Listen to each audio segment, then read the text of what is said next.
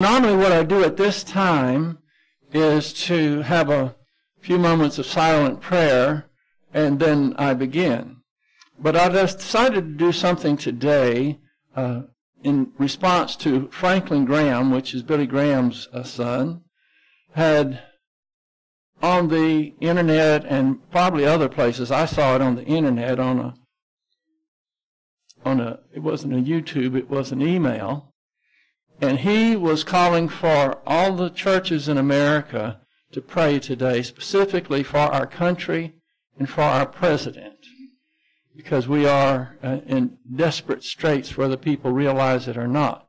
So I decided that I was going to answer the call as well. So I'm going to uh, pray in that regard. We'll have a few moments of silent prayer, and then I'll just uh, lead us all in prayer. Just continuing in that prayer, I will lead us and address those issues. Let us pray.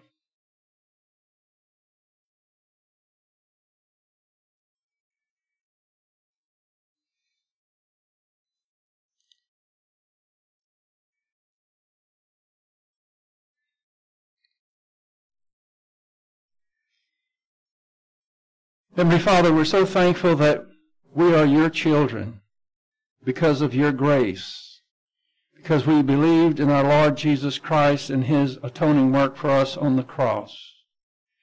We recognize that we're just sojourning, just passing through, visiting on this globe, on this planet. Our home is heaven. You tell us that our citizenship is there. We're thankful to be born in America. America was founded on your word. The Constitution, the Bill of Rights, and America is unique in that we are the first and maybe only country that recognize that our rights come from you. They're not from the government. We have God-given rights. Thousands of our brave soldiers have sacrificed and died to protect our freedom and our God-given rights from foreign countries that would enslave us. But now our freedom and rights are in grave danger, not from foreign countries, but by forces within our own country.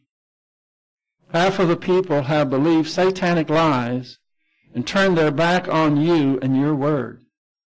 That includes those in our Congress our Senate, and judges in our courts.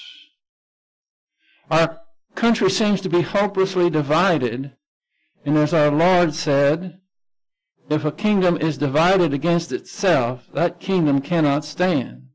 And if a house is divided against itself, that house will not be able to stand. Hatred and anger has overflowed into nearly every area of our society the news media, Hollywood, universities, government, an entire political party. It is more than having a difference of opinions on government policies. It's a clash between worldviews. One side is trying to hold on to the institutions and values that have worked so well for nearly two and a half centuries. The other side is doing its level best to destroy them. The Bible instructs us to pray for our leaders, and they need prayer now more than ever, especially our president. Like all of us, he is far from perfect, but he is doing his level best to save our country from those who want to destroy it. He is under vicious attack from every side every day as he does his best to stand for truth and righteousness and for America.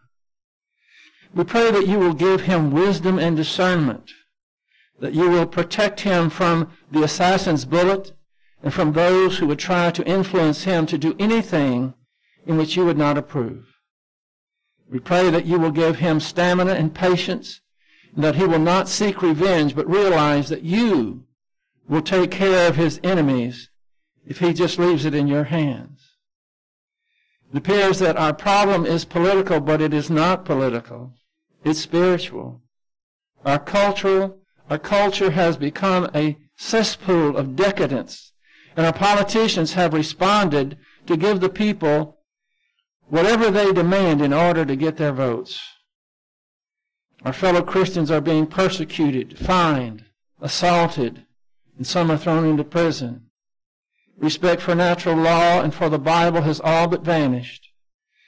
We pray for pastors to be like the black-robed regiment of the past and call for Americans to stand firm for truth and righteousness and trust you to vindicate our holy cause. Let us all humble ourselves and pray and seek your face and turn from our wicked ways and trust that you will hear from heaven and will forgive our sin and heal our land. We lift our prayer in the name of Jesus Christ, the King of kings and Lord of lords, who is our living Savior. Amen. Okay, uh, we're also going to do a little something different this morning. Instead of going back to our notes, and we're in Genesis chapter 22, we're going to go to a PowerPoint that has points about testing. You see, Genesis 22 gives the account of God requiring Abraham to sacrifice his son, his only son, his beloved son, Isaac. This is the ultimate test, and we can learn much from it. We'll be going back to our notes in a, in a bit, but I've extracted, uh, I think there's about nine of these PowerPoints that have information that we need to know about testing. And so, if I can bring it up here correctly, we'll begin with them. Okay. Number one, expect tests from God. We get this from Genesis chapter 22, verse 1 through 2, where Abraham was going to be tested. That might seem simple, but it seems like whenever something comes right out of the blue and crashes into us, some kind of, uh, I'm not talking about literally, but I'm talking about adversity, something that is unpleasant, something that we must deal with, something that hurts, something that we're going to suffer under. It's always as a surprise, or we, we, we're not expecting it. And so this first point is important because it says we should expect tests from God. And then underneath it, it says, it is a compliment when God sends us a test. It shows He wants to promote us in the school of faith. God never sends a test until He knows you are ready for it. A lot of these notes, by the way, have been have come from Warren Wiersbe and his uh, writings. So we shouldn't look at it as something that we hate. It should be something that we regard as really a favor because it is when we are under testing that we are going to be promoted. That is, if we endure it. Once we truly know that life is difficult, once we truly understand and accept it, then life becomes much less difficult. This is from The Road Less Traveled, page 15. So why is it, again, that we are surprised and shocked when we're in a hurry and we go out and turn the key on the car and the battery's dead? Why do we hate that? Why is something as small as that just make us go into a rage? Well, it's because we haven't accepted yet that life is difficult. And not only do we realize it, we accept it. That changes things. The Bible says just, this is in Proverbs, just as sparks fly upward, so is woe to man. He's, we're all going to face woe. What is woe? Actually, we want to put a woe to woe, don't we? Huh? Wasn't that clever? I just thought that up. But it's true that we would like to do that, but it is in the woe. It's when we are having uh, testing that should be the greatest time on earth. It's the time when we're closest to the Lord. It's the time that we have great opportunity to be promoted, to receive more blessings, more rewards and decorations. So we have to change our default thinking, which is usually, I don't know about what your default word is for when something happens. Mine is damn. I see some of you laughing. I, I take it that that's your default word too. And, and that's one of the better ones, by the way. so we need to change that because in Philippians it just happened to fold into what we're studying now. We are to rejoice always. That's when the car battery goes dead and all the host of things. So if we are really on our game and we are applying what we learn, then when the car battery goes dead, the first thing we should do is say, thank you, Lord, and mean it. I mean, you can say thank you, Lord, and it be sarcastic. Thank you, Lord.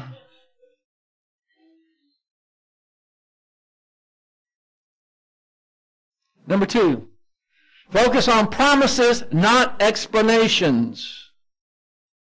Genesis chapter 22, verse 3 through 5. I am, I am in awe of what Abraham did. The ultimate test. He didn't ask one question. He didn't whine. He didn't complain. He didn't go seek counsel. Counsel. He just did it. And he could have asked a thousand questions, but he just did it. Our faith is not really tested until God asks us to bear what seems unbearable, to do what seems unreasonable, and expect what seems impossible. You see, that's when most people go into depression and they get anger and they, they do everything but what they should do. Because it's under those circumstances that God is going to demonstrate to you that He really is omnipotent that he really does love you. He's trying to get you to trust him, and sometimes he will eliminate every out, everything that you can think of in order to fix the problem and leave him out of it. He's going to shut all those avenues down. So, actually, that makes it easier for us to trust him. We live by promises, not by explanations. Remember when Job asked God, why did this happen? I mean, Job suffered like few people ever have suffered. Did God give him an answer? Did he explain to, to um, Job why he did it? No. What did he do? He started asking Job questions question after question after question. Were you there when the foundations of the earth were there? Were you there? Can you explain or can you have the power to keep the constellations all in place, all the stars? Question after question after question. By the time God was finished asking him questions, he was kind of like, kind of like this. He, I'll paraphrase what he said. I'm sorry I asked.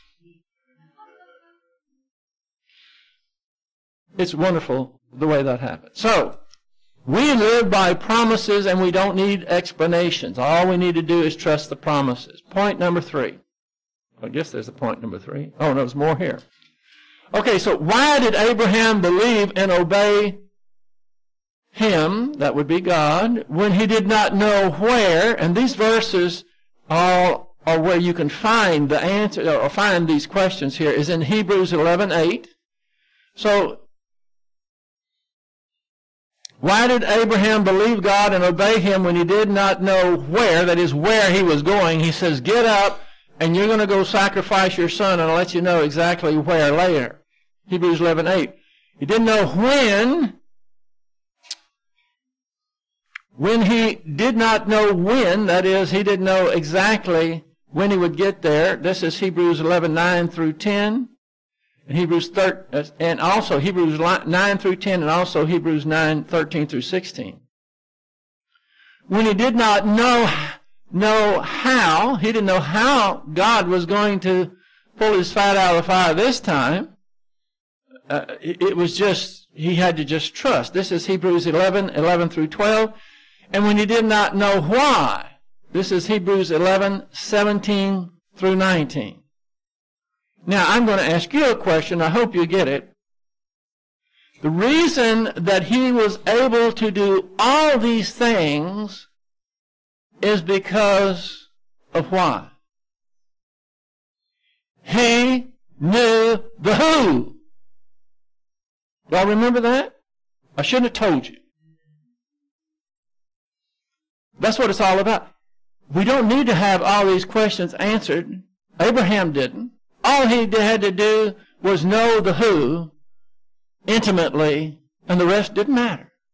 You don't have to know any of those in order to obey. All you have to do is know and trust the who, which of course is the Lord.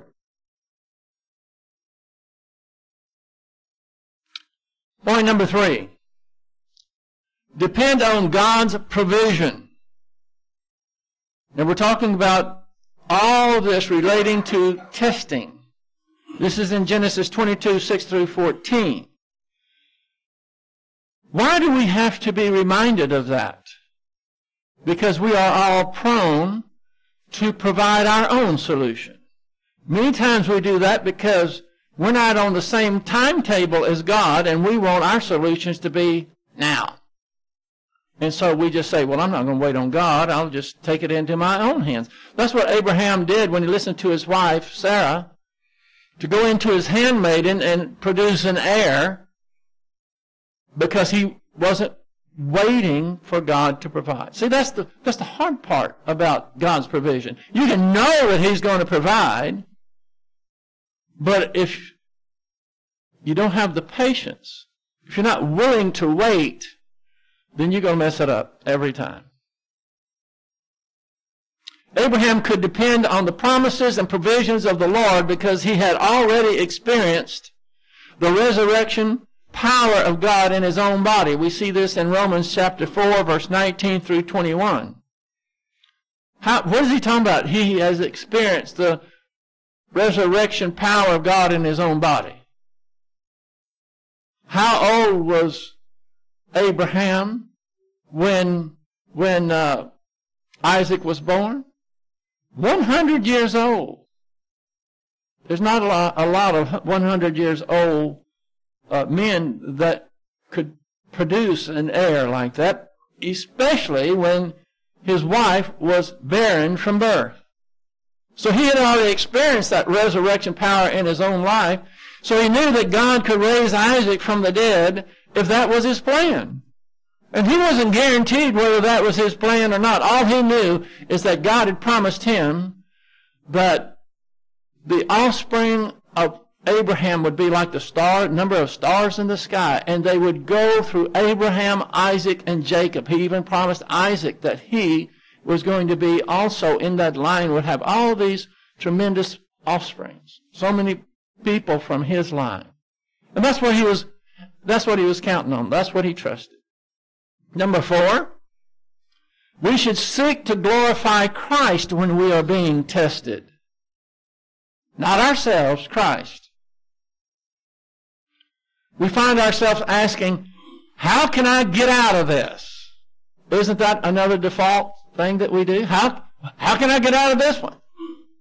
Instead of what can I get out what can I get out of this that will honor God? That's what we should be asking. What can I get out of this that will honor the Lord? What can I learn? What can I do in order to honor the Lord through this testing?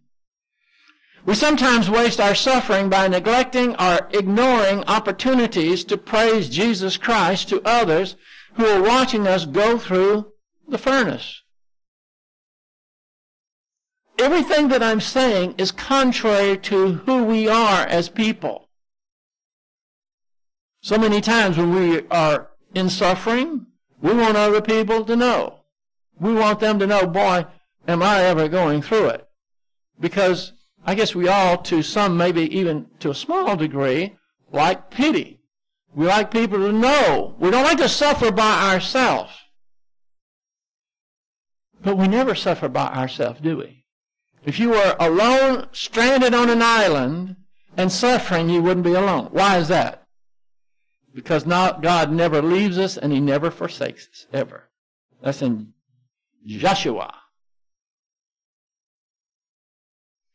In Isaac's case, a substitute died for him. That would be the ram. But nobody could take the place of Jesus Christ on the cross. Couldn't be an animal, couldn't be another person. He was the only one qualified, the only one that could do it. He was the only sacrifice that could finally and completely take away the sins of the world. Now God provided a ram but Isaac had asked about a lamb. The answer to the question is, the question, where is the lamb, was given by John the Baptist in John 1.29. He said, Behold, the Lamb of God who takes away the sin of the world. I, when I saw the ram, I was a little confused. I don't know whether you are, but I was. I noticed that they were going to sacrifice a lamb, but God pro- provided a ram. And it was purposely not to confuse a lamb that could have been sacrificed with the true Lamb of God that takes away the sin of the world. You see, all these lambs, probably millions of them, and oxen and all these animals that were sacrificed, did not take away even one sin. All they did was put a cover over that sin. God would hold off any of his condemnation until the Lamb of God took away the sins of the world, and that's John 1.29. The cross was the physical instrument of death, but at Calvary, Jesus experienced more than death. He experienced the judgment of God for the sins of the world. Isaac felt neither the knife nor the fire, but Jesus felt both. Isaac's loving father was right there, but Jesus was forsaken by his father when he became sin for us. Matthew 27, 45 through 46. 2 Corinthians chapter 5, verse 21. What marvelous love. You see, this was just a picture of what was going to happen at Golgotha when Jesus Christ was sacrificed for us.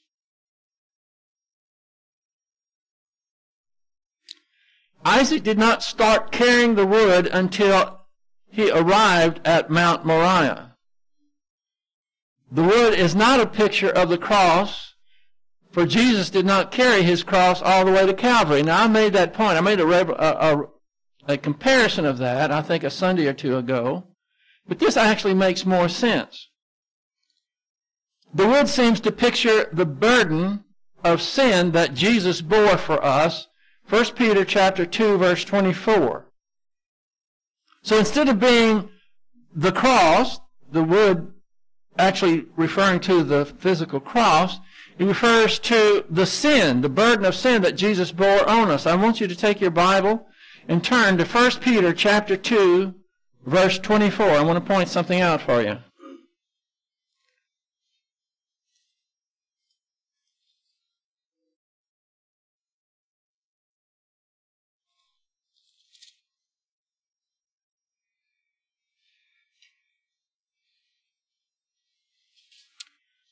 1 Peter chapter 2 verse 24. And he himself, Jesus Christ, bore our sins in his body on the cross, that we might die to sin and live to righteousness. For by his wounds you are healed. So it's talking about the burden of sin. Now I want you to take that word wounds, underlying it, and I want to make a point here. You notice that it's in the plural.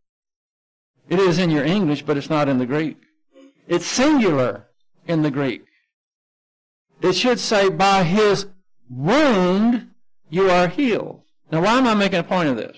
I've done this before because when we take the Lord's Supper, I quote Isaiah chapter 53, verse 5. Write that down right there so you'll be able to make this comparison right there in 1 Peter 2.24, right in your margin. Singular, Isaiah 53, 5.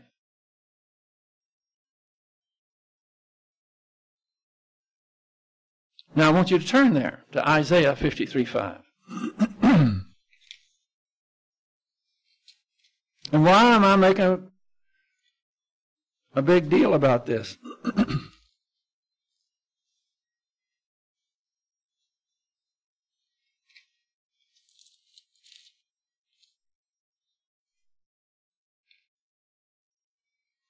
Isaiah, excuse me, Isaiah 53, 5. now I'm reading from the New American Standard Version. But when I quote it, when we have Lord's Supper, I quote it from the King James Version. But this is the New American Standard Version. But he was pierced through for our transgressions. He was crushed for our iniquities. The chastening for our being fell upon him, and by his scourging we are healed. Now I want you to put a circle or box, something around scourging. First of all, this is, I think, maybe the only translation that says scourging. The King James Version, instead of saying scourging, uh, scourging has stripes. By his stripes we are healed. The ESV, the English Standard Version, the NIV, New International Version, and the NET, the New English Translation, and there are many more that translate this as wounds. W-O-U-N-D-S, wounds, plural. Now that word there in the Hebrew is Kabura. C-H-A-B-B-U-R-A-H. Kabura. And it's singular. So we have in the Old Testament here a reference to by his stripes, by his wounds, or I don't like the word scourging because it could seem like it's singular, but if you're if you're being scourged, if you receive a scourging, there's more than one one stripe. There's more than one wound. I don't like this translation at all. I think the other ones are they communicate better, but all of them have one thing in common, and they say, and they have it plural when it's singular. Now, the reason it's singular is because of this, is because this tends to make you think that our so great salvation was secured by physical torture, by being scourged, by being whipped with a whip over his physical suffering. But that's not true. There was only one stripe, there was only one wound, and that was spiritual death. Because that's the penalty uh, for us when Adam and Eve ate of the forbidden, forbidden fruit. Uh, they died spiritually. And that's what Christ did on the cross because it wasn't his suffering. Other people can suffer, maybe not as much as he did, but there's been tremendous suffering throughout the world. But only one perfect person can die spiritually. And that was the wound, the stripe, the scourge. And that's important to note. So I saw this as we were going through here, and I thought that I would point that out to you. I hope you make a notation in your book in, in your Bible so that you will remember that. It's important. It's a way for us to emphasize the real sacrifice was spiritual death, and during that time, God the Father and God the Holy Spirit abandoned Jesus Christ because they, ha- they can have nothing to do with sin. Okay, now we'll go back up. We'll look at the screen again. So Isaac did not start carrying the wood until he arrived at Mount Moriah. The wood is not a picture of the cross, for Jesus did not carry his cross all the way to Calvary. The wood seems to picture the burden of sin that Jesus bore for us. And we went to 1 Peter chapter 2 verse 24. Excuse me. And that burden, the price he had to pay for sin was not physical punishment, it was spiritual. I mean, physical punishment, it was spiritual death. Abraham took the wood and laid it upon Isaac his son. This is Genesis 22 6. And the Lord hath laid on him, Jesus, the iniquity of us all. Isaiah 53 6. The fire consumed the wood as a picture of judgment of God against sin. Fire is, has to do with judgment. It's interesting. This is very interesting. I say it's interesting, but I think you'll find it very interesting as well. It is interesting that Abraham returned to turned to the two servants, Genesis 22:19, but nothing is said about Isaac when he returned. In fact, nothing is said at all. Is not mentioned again until he is seen meeting his bride in Genesis 24:62.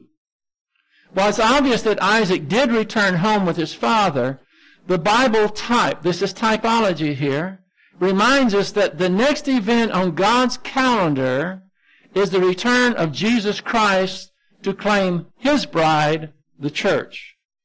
So, Jesus Christ died on the cross.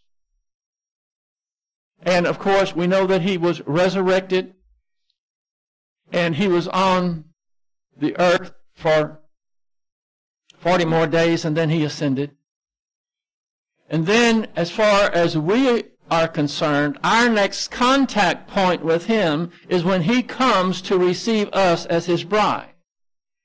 So the fact that the Bible doesn't say anything about uh, Isaac after his sacrifice until he's going to meet his bride is a preview of what's going to happen at the rapture. Are y'all getting that?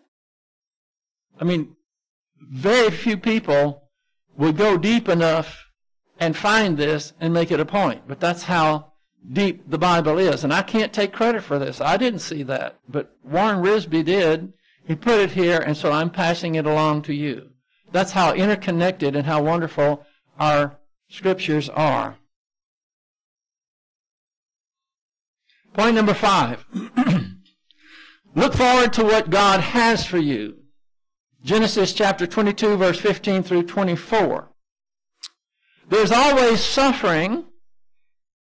There, excuse me, there's always an afterward to the test of life. Hebrews 12, 11, and 1 Peter 5, 10. There's always something after the tests. Because God never wastes suffering. You're not suffering just for the sake of suffering. There is a purpose for it. And after you have endured, you depended on the Lord, and He has provided, provided the solution, and now you are on the other side of suffering, you, there's always benefits. It's not just suffering for suffering's sake. In 1 Peter chapter 5 verse 10 says, After you have suffered for a little while, the God of all grace who called you to his eternal glory in Christ will himself perfect, confirm, strengthen, and establish you. So on the other side of that suffering, this is what God is going to do for you. You're going to be better if you don't get bitter. Because that's what happens to a lot of people. They have no divine viewpoint. They don't have any doctrine to draw from. All they think, well, boy, this is bad luck, look, and it's horrible, and I'm going to complain and all the rest of it. No. This is what's on the other side of suffering. This is also a promise. The God of grace who called you to his eternal glory in Christ will himself perfect, confirm, strengthen, and establish you. What a promise.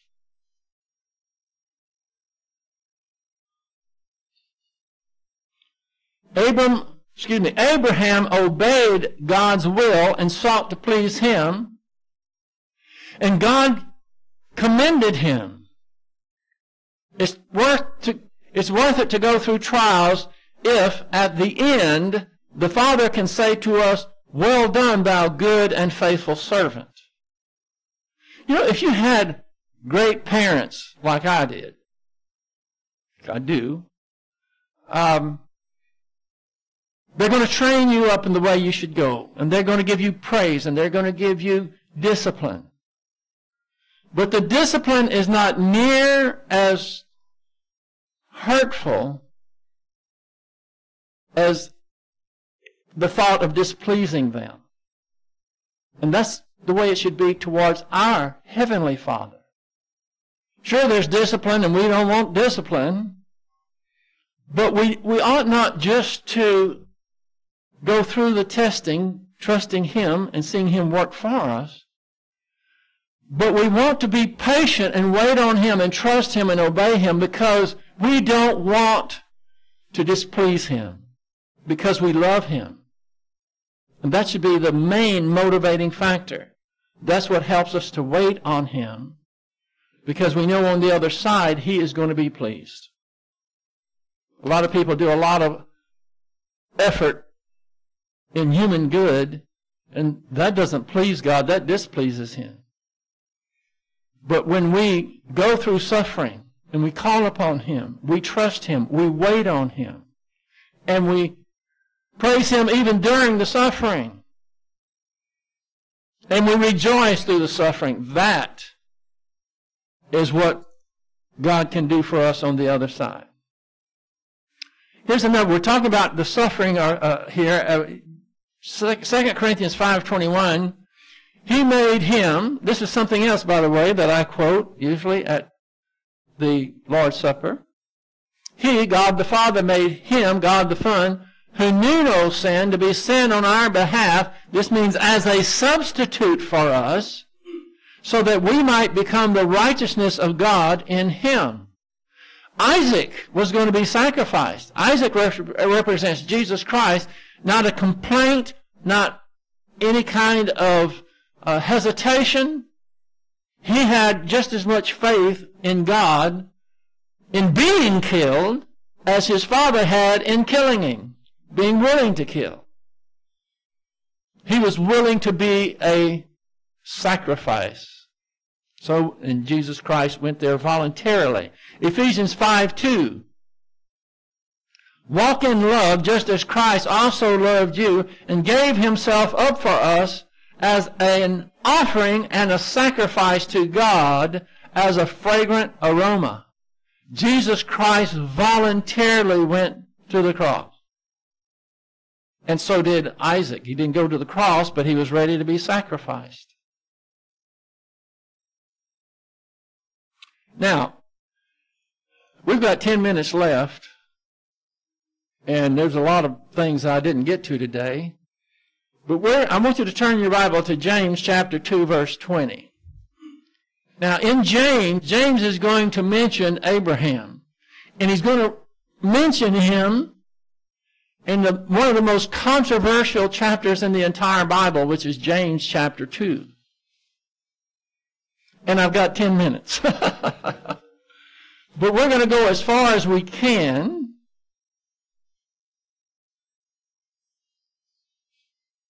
I've taught this, and many of you hopefully would be able to respond to someone when you tell them that salvation is faith alone in Christ alone. It's not of works. And they will take you to James or refer to James chapter 20, uh, 2, verse 20. This is our first verse. Look at it up here. That's way up high. I hope you can see it. I can't lower it.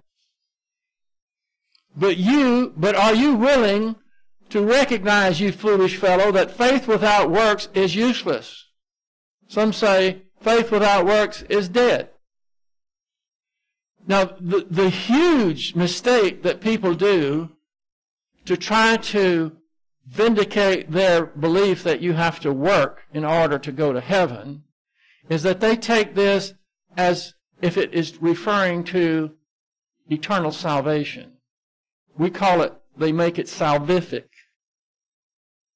James had a group that he was talking to. They were believers, but they were believers that thought, okay, well, I believe in Jesus Christ. I'm going to heaven.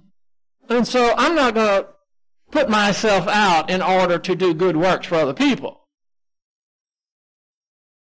And so he is trying to explain to them that what they're doing is contrary to what they would want for themselves. And it is true in an experiential way that the faith that you had at salvation,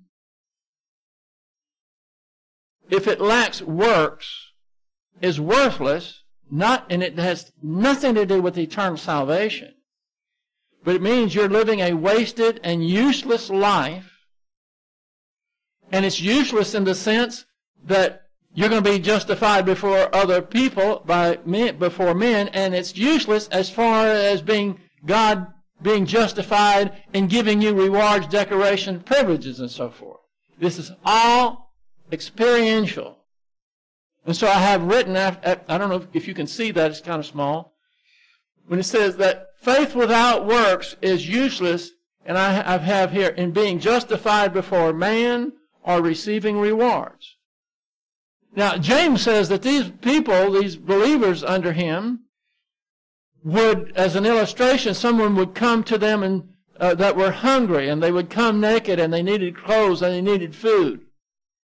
And they, they would say, go and be clothed, and go and be fed. But they wouldn't do anything. They wouldn't help them. So what good is the faith they had when they believed in Jesus Christ? What good is their faith as a Christian if there's no works? What good is it? Nothing. It's no good whatsoever. That's the context of what is going on here. Verse 21. Y'all, y'all in James? Okay. Was not Abraham our father justified by works when he offered up Isaac his son, and I put in here, as a sacrifice, because we're looking at these verses that have to do with sacrifice. So was not Abraham our father justified by works when he offered up Isaac his son on the altar? And the answer to that is yes. But those that work had nothing at all to do with Abraham being saved because he was already saved. Abraham was saved when he left Ur of the Chaldees. And we'll get to that. That's in here as well, in where we're going. Verse 22. You see, faith was working with his works, and as a result of the works, faith was perfected. Now, I have a few things in here that I don't know if you can see them that well. You see that faith was working. This word working is a verb. It's the imperfect active indicative. Now, what that means, the in that, uh, a imperfect tense in the Greek emphasizes the ongoing action in the past. So when it says, you see that faith was working over and over in the past, that it can't be referring to eternal salvation because you don't have to keep on working. You don't have to keep on having faith. The moment you believe in Jesus Christ, when you have faith alone in Christ alone, that triggers the imputation of eternal life and God's own righteousness. So since it's ongoing, it can't be referring to something regarding eternal life anyway. So he says, you see that faith was working. Oh, active voice means you have to produce the work, which also, again, is not has anything to do with our eternal salvation. It's indicative mood of reality. So you see that faith was working with his works. And I just threw in there producing. Because when you have faith, and it is active, even after salvation, then that is what produces work. Let me say it a, a different way. You're not going to produce work unless you believe the promises. You're not going to believe, uh, you're not going to, excuse me, you're not going to produce good works if there's not something in it for you. And that means that you believe the promises that God is going to give you super blessings and He is going to give you rewards in heaven. If there's no motivation for you to do good works, probably not going to do them. So this is talking about even faith after salvation. We have that one spot of faith which we are eternally saved. But then after salvation, we continue to use faith And that faith in God's promises and in the doctrines that we've learned motivate us to produce good works. So that's why I put, you see, that faith was working with or producing his works, and as a result of the works, faith was perfected, I have are, are completed. So when you're a, a baby believer and you don't know much about the Word, you don't have enough information to really utilize that faith that much. But when you grow in grace and knowledge and you're learning doctrine, then it's important to apply that doctrine, and you apply that doctrine because you believe the doctrine. You believe the promise. So in that case, faith is active in producing good works.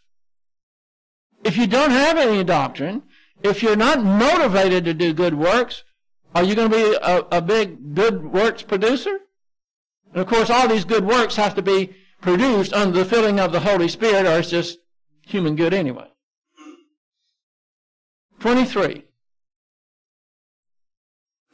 And the scripture was fulfilled which says, And Abraham believed God, and it was reckoned to him as righteousness, and he was called a friend of God. So, when Abraham sacrificed Isaac on the altar, was he a believer? Of course he was a believer. He already had righteousness reckoned to him. This verse, I, I have notes below that is going to explain this, but I'm telling you now. And as the scripture was fulfilled, this is in scripture which says, and Abraham believed God and it was uh, believed God and it was reckoned to him or credited to him as righteousness. That happened in, back in Ur of the Chaldees and it is quoting that verse. It's, in other words, what I'm trying to explain is that Abraham did not have God's righteousness credited to him when he sacrificed Isaac. He, had, he already had that. And so a lot of people think, well, yeah, he got it then. No, he was already a believer when he left Ur of the Chaldees. And then it says, and he, and he, and he was called the friend of God. Now, the fact that he sacrificed Isaac, or was willing to, he was going to do it, means that is the reason he was called the friend of God, because his faith produced work, because he believed God that Isaac was going to be an heir, and even though God called him to kill him, to sacrifice him on the altar, he knew that, or he, he believed that God would bring him back. And it was that trust and acting on that trust is what is why, one of the reasons why he was called a friend of God. Are y'all getting this? Y'all are as stoic as an anvil out there. I don't know. I'm not. I'm not trying. I'm not trying to make it exciting. I'm trying to make it understandable. And this portion of Scripture is is the mainstay of Mormons and Jehovah Witnesses and others who will come right out and say, "Oh yeah, you got to work your way to heaven," and they'll go to these verses to substantiate it, and I'm putting them in context for you. And then we have this, verse 24. This is our last one, and we're, we're out of time now anyway, but I'm going to end with this one for today. Verse 24, you see that a man is justified by works, and your translation probably says, and not by faith alone. Is that what yours says? Okay. If you look close up here, I cross that out. See where it says by faith alone? And at this late time in this message, I'm not going to go into the grammar and the morphology of these things, but I'll just say this. This is not in, from the from the Greek. This it can't be by faith alone. alone is an adverb trying to modify faith. Faith is a noun, and adverbs don't modify nouns. So this is incorrect, and so I cry, cry, uh, crossed it out, and put it this way. You see that a man is justified by works and not justified only by faith. Now you have only the adverb who is, that is modifying a verb here, justify. Now that is grammatically correct in the Greek. Why does that make a difference? The difference is because it would sound like that you see that man is justified by works and not by faith alone. It sounds like there's only one kind of justification, and that is by works. But it's not that. There's two kinds of justifications. There's justification, uh, there is justification by faith alone in Christ alone, which is eternal salvation. We're justified before God by faith. We're justified before man by works. And that's what James is talking about. That's what he's giving out. And so this, here you have, you see that a man is justified by works. That's one kind of justification. That's justification before man. In other words, if you say, I'm a believer, and they say, well, that's great, why should I believe you? Well, if you have a, a lot of good works, then they will tend to believe that you are a son of God. But you, they can't see the faith that you had at salvation. The only thing they can see is your works. If you don't have works, then you can't be justified before them. So justified by works is by, before man and not justified only by faith. So we're, we're justified by faith, but not only by faith, we're also justified works before man. Now, in this amount of time, that's all I can do. But I hope you go there you, and, and write this. I, if, are y'all here in James right now? All right, I want you to write this. Cross out faith alone. That's not even not even in English is that grammatically correct. Especially in Greek. Because it sounds like it's only one kind of faith, and that's by works. You see that a man is justified, I could put in here, by man, uh, I mean, to man by works, and not justified only by faith. That's two justifications. One by faith, justified before God, one by works, justified before man. And if you're justified before man for works, it means that God can justify giving you super grace blessings and rewards and decorations and so forth.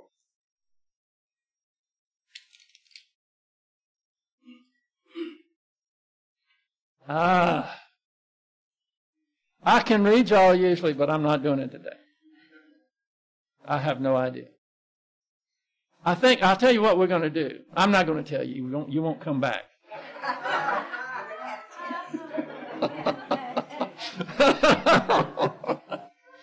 and now you're curious, so now maybe you will.